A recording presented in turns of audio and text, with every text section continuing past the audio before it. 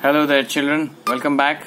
This time I've come up with a video on amphibians and that too a very common amphibian, a frog.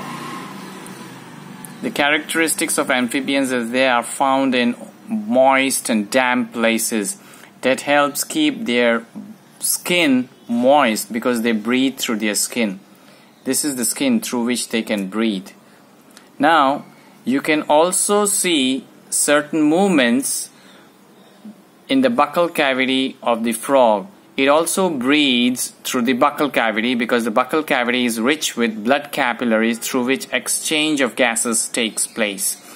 And when it is alarmed and it needs more oxygen, it also breathes through pulmonary respiration. It has two hind legs which are long as you can see them over here. They are webbed I'm sorry. As you can see they are webbed. The webbed feet hind legs they help in swimming pushing the water backwards when they are swimming. And the front legs are short. They help it in holding the prey. It has a tongue which is attached in the anterior end. I'll just show you that. Here I'll show you the tongue which is fixed in the front end. Our tongue is free in the front end. Now have a look at this. Now here I'm trying to remove its tongue.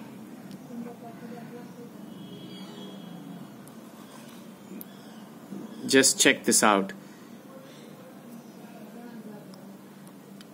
It is attached in the front end as you can see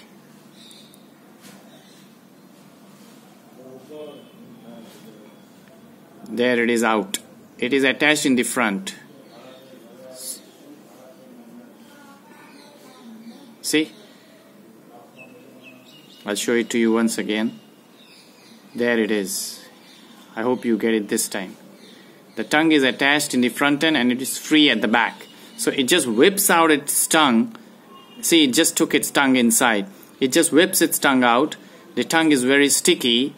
And so the prey probably an insect, sticks to it and it rolls the tongue back in this way, like it'll do it just now. Just check it out. Come on, little fellow, just roll your tongue back. Ah, there it does. And it has very good sight. Its vision is very nice. It loves it. Here, you can also see all the four feet at the same place, at the same time. This happens to be a male as you can see this small patch of muscular tissue ectodermal tissue in the front legs in order to clasp the female during the mating. And the webbed feet they are actually long. And the webbed feet of some of the frogs found in oriental countries are relished as a delicate dish a very tasty dish in these countries so here's our little fellow. Let's tell him goodbye before it takes a final leap. It's reluctant, I suppose, to take a final leap.